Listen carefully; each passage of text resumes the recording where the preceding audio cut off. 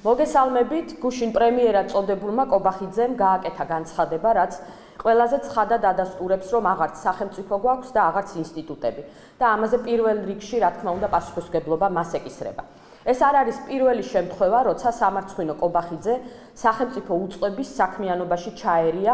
ის ჩაერია პროკურატურის საქმიანობაში, გავიხსენოთ ვაკის პარკის ტრაგედია, როდესაც ხელი დააფარა მისი კორუფციული დაჯგუფების წევრ კალაძეს. შეგახსენებთ ასევე პრეზიდენტის იმპიჩმენტის გადაწყვეტილებაში როგორ ჩაერია, რამაც დაადასტურა, რომ საკონსტიტუციო სასამართლო არ არის დამოუკიდებელი. შეგახსენებთ ასევე, რომ ის ძალიან ხშირად უკანონოდ იყენებს პრემიერის სტატუსს პარტიის ქართული ოცნების ტრიბუნიდან.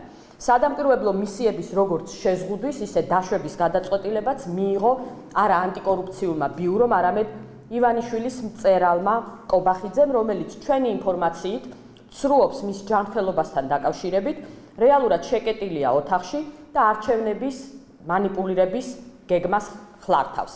უშუალოდ მის კაბინეტში იწერება არამხოლოდ ანტიკორუფციული ბიუროს, არამედ ცესკოს და სახალხო დამცველის განცხადებებიც. კობახიძის ძირითადი ფუნქციაა არჩევნების გაყალბების და პარტიის შავი სალაროს შევსება შავი ფულით.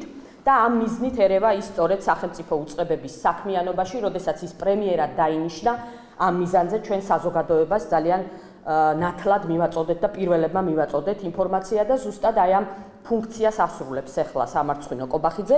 ამ მიზნით დანიშნეს ის პრემიერა და ამ მიზნით ჩააბარეს სწორედ საარჩევნო შტაბიც. შესაბამისად, რამდენი ავადმყოფობაც არ უნდა გაითამაშოს, რაც სამწუხაროდ სიცრუეა და მე მოგიწოდებთ რომ მას მოსთხოვოთ ამაზე პასუხი, რომ გამოვიდეს აი ამ სამალავიდან და საზოგადოებას კითხვებზე უპასუხოს, პასუხისგებლობას რა თქმა უნდა ვერ გაექცევა.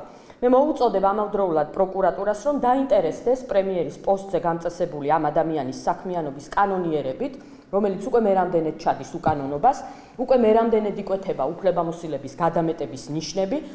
და იმოქმედოს პროკურატურამ, იმიტომ რომ დროულად მოქმედებამ შეიძლება პირდაპირ გავლენა მოახდინოს არჩევნების ლეგიტიმაციაზე.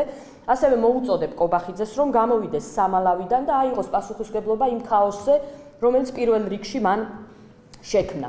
1 ოქტომბერს მოგეხსენებათ დამალული იყო, იმიტომ რომ ნუ ამ სიმბოლურ დღეს არ გამოესვლებოდა, მაგრამ იქნებ ახლა მაინც გამოვიდეს და საზოგადოებას კონკრეტულ კითხვებზე და აი ამ ასე ვთქვათ, განუკითხაობაზე, რაც თვითონ შექმნა, პასუხი გასცეს. რა თქმა უნდა, ჩვენ დღესვე მივაწვდით ყველა საჭირო ინფორმაციას ჩვენს საერთაშორისო პარტნიორებს. დიდი მადლობა და მზად ვარ რომ კითხვებს უპასუხობ.